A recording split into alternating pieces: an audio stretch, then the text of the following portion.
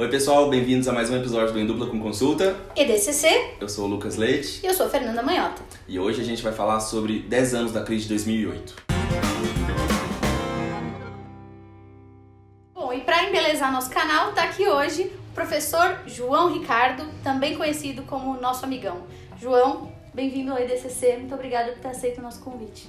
Uma honra estar aqui. Aproveita que já tá aí e se inscreve no canal, curte esse vídeo, chama os amigos, compartilha com todo mundo, ativa o sininho das notificações. E ah, lembrando, curte as redes sociais do nosso canal, além das redes sociais minha, da Fê e do João Ricardo. Então vamos começar com a pergunta número um, que seria, professor João Ricardo, qual é a relação da crise de 2008 com a sua vida? Por que você fala sobre isso? Porque, porque eu falo sobre isso, acho que só Freud explica, né? Agora, eu pesquisei no mestrado se como é que a política econômica e a, a crise foi relacionada e um pedaço do meu doutorado também fala sobre a crise de 2008. Então é um tema que acho que me interessa muito como pesquisador, né? Como ser humano já é menos. É, a crise de 2008 é uma crise comparável à, grande, à crise que suscitou a Grande Depressão. Mas com as lições que nós tive- tiramos da Grande Depressão, ela não foi igual. Por isso que o período pós-crise a gente chama de Grande Recessão. Foi forte, mas não foi tão forte como poderia ter sido. Tem várias formas que a gente pode entender. Eu acho que a primeira é compreender o mercado imobiliário dos Estados Unidos e a partir dele entender como um problema micro, problema no mercado específico, se espalhou para o resto do mundo, desenvolvido, que é importante, porque os emergentes de fato passaram ao largo dessa crise. Depois do estouro da bolha, teve uma bolha no mercado de ações em 2000, Banco Central, Essa bolha de 2000 é aquela bolha das Do ponto ponto com? ponto .com, exatamente. O que que é uma bolha, hein? Explica aí pro nosso telespectador, youtubers, que não sabe o que que é uma bolha. Acho que a melhor maneira de entender uma bolha é olhar para o Bitcoin agora. Bitcoin, o preço do Bitcoin começou a subir. Subiu por quê? Porque as pessoas achavam que ia subir. Por que as pessoas achavam que ia subir? Porque subiu. Não tinha fundamento por trás. Então, bolha, toda vez que um preço sobe, o preço de, um, de alguma coisa sobe, porque é, as pessoas acham que vai subir, mas não tem nenhum fundamento junto. Por isso que eu gosto de brincar que Bitcoin é muito mais uma batata virtual do que uma moeda. Então, a gente teve esse movimento no mercado de ações dos, dos Estados Unidos. As ações de empresas de tecnologia tinha uma certa euforia, uma certa confiança exacerbada no que poderia ser eh, aquelas empresas. Os preços subiram demais e de repente despencaram. Quando despencaram, todo mundo se viu mais pobre. Para poder acomodar isso, o Banco Central começou a cortar juros. Quando esse, esse movimento foi aco- acomodado, ao mesmo tempo, os Estados Unidos, o mundo desenvolvido mais ou menos, eles estavam vivendo o que a gente chama de grande moderação. Parecia que os ciclos econômicos estavam domados, crescimento estável, com taxas interessantes para o mundo desenvolvido, inflação baixa e controlada. Quando, fica quando as coisas ficam calmas durante muito tempo, é onde dá o espaço para as coisas darem errado. A gente esquece os erros do passado e começa a liberar certas amarras da regulação, especialmente da década de 90 ali com o governo Bill Clinton, o que eu acho que foi um dos grandes eh, causadores da crise. Isso ajuda a explicar um pouco do porquê que os economistas, de uma forma geral, foram tão ineficientes no sentido de prever a crise. Muita gente fala sobre isso, né, que é um tema meio Voldemort da economia, né? Ninguém fala sobre o que aconteceu com os economistas pré-crise. E não é só na economia, em RI também. Ninguém sabia explicar, por exemplo, Exato. o fim da União Soviética, o fim da bipolaridade. É, tem a ver com isso que você falou? Acho que tem a ver com duas coisas. A rainha da Inglaterra perguntou isso, juntou um monte de gente importante, vários economistas, e falou assim: tá bom, por que, que ninguém viu isso acontecer? Tem dois professores de Harvard que dizem o seguinte: tem até um livro que tem esse título, né? This time is different. É a sensação de que dessa vez é diferente. Não, não. Os preços estão subindo, mas dessa vez é diferente, dessa vez tem motivo. De que preço que eu estou falando? Lá nos Estados Unidos, os preços dos imóveis começaram a subir muito. Por quê? Porque o cara estava fácil, Fácil porque essas amarras regulatórias foram sendo soltas, as taxas de juros mais baixas e o crescimento que retomou pós estouro da crise fizeram com que as condições fossem mais interessantes. Ficou fácil emprestar, os bancos queriam emprestar, começaram a aumentar demais o volume do crédito, de tal forma que os preços subiram muito. E aí vários economistas quiseram explicar esse movimento dos preços, só que chegou uma hora que mesmo as pessoas que estavam estudando esses assuntos falaram, olha, não tem mais motivo, está subindo demais. Quando a gente acha que não, mas dessa vez é diferente, é que dá o risco para não prever uma crise. A crise no começo ela ficou conhecida como a crise do subprime, depois que ela ganhou essa nomenclatura mais genérica de crise de 2008. O que, que é o subprime? Qual é a relação que, que esse termo tem com o que você estava falando agora? Aliás, é, na edição vai ser bom que vocês podem botar várias coisas, vocês podem botar os ninjas também, porque os ninjas têm um papel fundamental na crise. Os tartaruga? Não, antes fosse, eles podiam salvar a gente. Entendi. o que, que são os ninjas, para você entender o subprime? Porque, é, vamos dividir dois tipos de grupos no mercado de crédito. Aqueles que eu acho que vão pagar, aqueles que eu acho que não vão pagar. O banco ele gosta de emprestar porque eles acham que vão pagar. Mas durante a crise, durante esse período de grande, grande moderação, antes, nos anos 2000 até 2008, 2006, 2007, estava tudo tão calmo que eu comecei a emprestar dinheiro para todo mundo. E aí tinha um problema que era quem originava os empréstimos, quem era responsável para fazer a parte de vendas desses, desses empréstimos, não era o banco. Eles contratavam outras empresas. Então, elas ganhavam, as, as empresas ganhavam por o cara assinar o contrato. Se ele pagou ou não, não é um problema deles você já tem um problema aí de incentivos. Quem são os famosos ninjas que deram origem ao subprime? Eu comecei a emprestar para todo mundo, inclusive para o indivíduo que não tem renda, no income, então daí que vem o ninja, NI, no job, o cara não tem emprego, não tem uh, renda, or asset, não tem emprego, não tem renda, não tem ativo, mas eu empresto para ele comprar uma casa. Ele não tem nada. E mais do que isso, eu sei que ele não vai me pagar, mas tudo bem. Porque na hora que ele for no banco tentar renegociar, lá na frente eu acho que o preço do imóvel vai estar mais alto, a taxa de juros vai estar mais baixa e as condições vão, vão ser melhores para ele renegociar. E isso continuou. O problema é que a bicicleta do crédito, quando começa a, quando para de pedalar, é que o tomo é feio.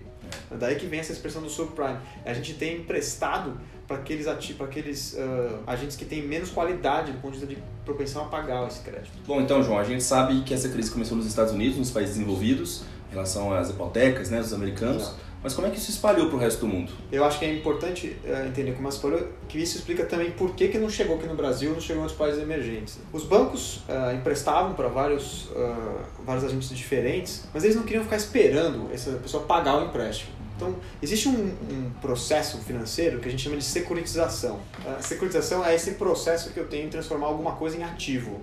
É transformar alguma coisa em título. Na verdade, mais do que ativo, é transformar em título.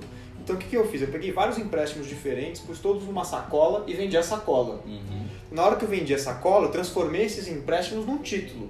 Quem comprou essa sacola tinha o direito a receber esses fluxos. Só que não para por aí. Eu peguei várias sacolas diferentes e transformei numa sacola maior. E aí eu vendi para bancos, para seguradoras, para um monte de gente. Só que quando eu ponho várias coisas numa mesma sacola, eu estou pressupondo que uma, alguns vão pagar, outros não. Quando está todo mundo no mesmo bairro, na mesma cidade, na mesma indústria, e essa indústria começa a ir mal, os ganhos do que a gente chama de diversificação, colocar vários ovos em cestas diferentes, se perdem. E aí nós percebemos que não tinha de fato uma diversificação e esses títulos que as agências vinham dizer, olha, é super seguro, então davam o famoso AAA, as notas de crédito, elas não refletiam a realidade. O que acontece é que os bancos, os fundos, os agentes do mercado financeiro compraram várias coisas que não entendiam achando que ia dar tudo certo, só que deu tudo errado, a gente teve a maior crise financeira desde a Grande Depressão. Bom, então aparentemente a gente estava na pior. Se você tá na pior, porra, o que quer dizer tá bem, né? E o que aconteceu para sair da pior? Se é que a gente saiu da pior? Então, pergunta número um, saímos da pior? Pergunta número dois, o que, que a gente fez para sair da pior? Então depende de quem é a gente. então, tem a gente que não saiu, tem a gente que nem chegou. Os pais emergentes, eles passaram meio na tangente dessa, dessa crise, né? Porque não era de fato uma crise de países emergentes. Os países desenvolvidos já sofreram muito mais. Então, como é que a gente saiu da crise? Do ponto de vista uh, de política econômica, tem um papel muito importante do Banco Central dos Estados Unidos. O Ben Bernanke era presidente do Banco Central na época e um dos maiores estudiosos da Grande Depressão. Ele, inclusive, faz um discurso, se não me engano, em 2004, que chama Deflation, Make Sure It Doesn't Happen Here, e diz o seguinte: olha, Milton Friedman e Schwartz, vocês estão certos em culpar o Banco Central dos Estados Unidos pela Grande Depressão. O Banco Central deixou acabar, é, acabar com a, com a, liquidez no sistema e, portanto, ter aprofundado o problema. Então, se acontecer de novo um risco de deflação, temos uma lista. E o, e o Bernanke fez várias coisas da lista, exceto um. Então, o que, que ele fez? Ele emitiu moeda, fundamentalmente, colocou moeda em circulação. Porque se a economia parou de girar, vai naturalmente ter um enxugamento, vai ter menos liquidez. Então ele, o Banco Central colocou moeda de diversas formas, usou o mercado de juros, comprou contratos, vendeu contratos, fez vários, vários artifícios, mas basicamente o que ele fez? Diminuir juros e cortar moeda. De alguma forma foi isso que ele fez. E o último da lista que ele não fez foi comprar título da dívida externa de outros países. Por quê? Isso é basicamente os Estados Unidos atacando uma moeda estrangeira. E aí tem um, uma, um caráter geopolítico importante quando estou falando do maior banco central que emite a moeda do mundo atacando uma moeda específica. Né? Então ele não fez isso, mas de, de, outras formas foi isso que ele fez. Agora, o que a gente achou que a gente tinha entendido, e aí eu descobri com a crise que não, é que nós olhamos muito para o lado monetário, mas para o lado de política fiscal tem um problema ideológico muito forte. Dizer que num momento como esse, onde ninguém quer comer o bolo, ah, o governo pode ir lá e pegar uma fatia maior, mexe com os ânimos das pessoas. Então, quando a gente olha, por exemplo, nos Estados Unidos, Do ponto de vista federal, até teve algum tipo de estímulo, você tem programas, mas no ponto de vista uh, municipal, estadual, você teve professores sendo mandados embora, uh, bombeiros, policiais, isso teve um impacto recessivo. Então, na verdade, a gente teve durante a crise uma certa política fiscal mais austera, que naquele momento era o que a gente não precisava. Portanto, tem uma, uma mistura. Isso explica um pouco por que demorou para a crise sair. Não é só isso. Em geral, crises que combinam crédito excessivo e aumento dos preços dos imóveis é, geram crises que machucam muito a economia durante muitos anos. Por exemplo, a taxa de desemprego leva 10 anos para voltar. Por isso que a gente está vendo agora as taxas de desemprego nos Estados Unidos um pouco mais baixas. Vale a pena lembrar, inclusive, é, que durante a reeleição do presidente Obama, ele usava como material de campanha um bumper stick que dizia Obama, o presidente que matou Bin Laden e fez a GM viver. Tinha a ver com esse conjunto de medidas que o governo dele estava implementando. E aí a gente emenda a próxima pergunta. Afinal de contas, o que, que a gente aprendeu dessa experiência de 2008, agora, né, depois de 10 anos estudando e tentando é, decifrá-la, e qual é a visão dos economistas sobre a possibilidade de novas crises, né? Você mencionou o Bitcoin aqui para dar um exemplo. Eu acho que o que a gente aprendeu é que a gente gosta de esquecer as lições que a gente aprende. Eu acho que essa é a principal lição da crise de 2008, porque de alguma forma a gente já tinha visto grande parte do, do ferramental para poder solucioná-lo. Só que a gente gosta de esquecer. Mas, assim, do ponto de vista técnico, a gente aprendeu a importância das expectativas.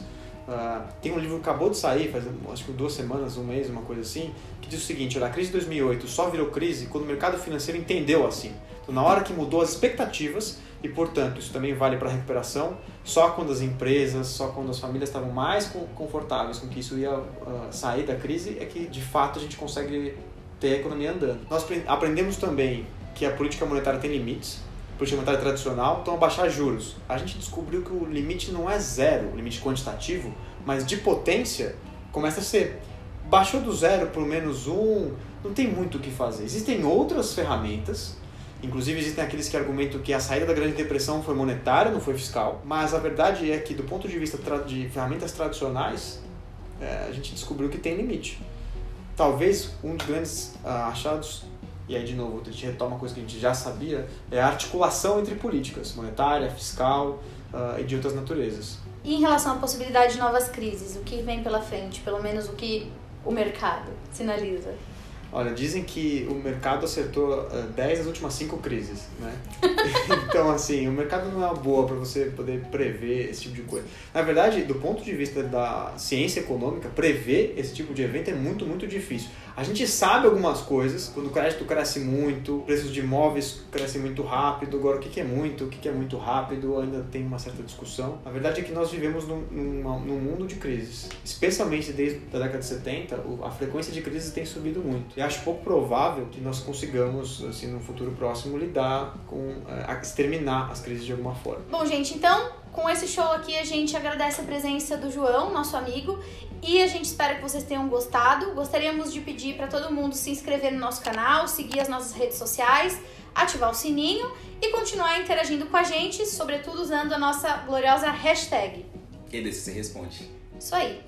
Muito obrigada pela audiência de vocês e até a próxima. Tchau, gente. Tchau, tchau. Dupla com consulta. Eu sou o Lucas Leite. Ah, desculpa, desculpa. É isso que eu perguntei, tá vendo? Desculpa, desculpa, desculpa. EDCC. países. Isso foi o Gramsci com BB-8.